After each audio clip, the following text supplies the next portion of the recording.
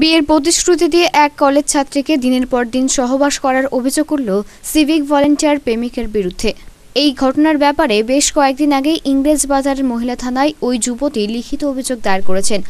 Police কোনো প্রয়োজনীয় ব্যবস্থা নিচ্ছে না বলে অভিযোগ। অবশেষে শুক্রবার সিভিক ভলেন্টিয়ার প্রেমিকের বিরুদ্ধে পুলিশ প্রশাসনের কাছে লিখিত নালিশ জানিয়েছেন ওই যুবতী। আগামীতে পুলিশ কোনো প্রয়োজনীয় ব্যবস্থা না নিলে এই ব্যাপারে এই ব্যাপারে মানবাধিকার কমিশন এবং আদালতের দ্বারস্থ হওয়ার কথা জানিয়েছেন অভিযোগকারী ওই ছাত্রী। অভিযোগকারী ওই ছাত্রী ছায়া চৌধুরীর আরও অভিযোগ, তাকে এখন নানাভাবে হুমকি দেওয়া হচ্ছে। যেহেতু অভিযুক্ত ওই যুবক সিভিক ভলেন্টিয়ারের কাজ করে তাই তার বিরুদ্ধে ওঠা অভিযোগ গুরুত্ব দিয়ে দেখা হচ্ছে না। এর জন্য এদিন তিনি পুলিশ সুপারের কাছে লিখিত অভিযোগ জানিয়েছেন। এদিন যার বিরুদ্ধে অভিযোগ সেই যুবকের সঙ্গে কোনো রকমভাবে যোগাযোগ করা যায়নি। পুলিশ সুপার অমিতাভ মাইতি জানিয়েছেন এই ব্যাপারে কিছু জানা নেই। যদি অভিযোগ হয় তাহলে বিষয়টি অবশ্যই খতিয়ে দেখা হবে। আমি এসপি অফিসে এসেছিলাম কারণ পাণ্ডব রায় আমার সঙ্গে পাঁচ বছর ধরে সম্পর্ক।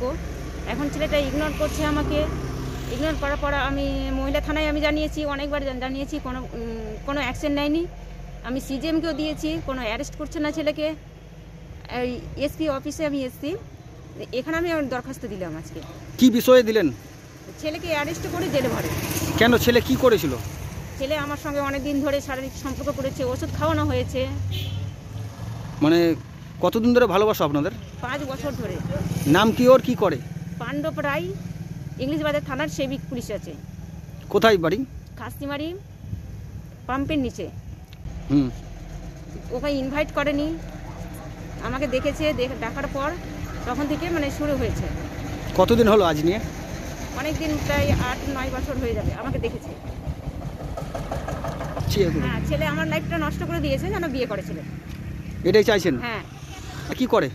এমনি ছেলেটা ইউনিভার্সিটিতেও চাকরি করে। তো পারমিটটা ওখানে হয়ে গেছে। আর সিভিক? আর ইংলিশ বাজার থানার বেশ।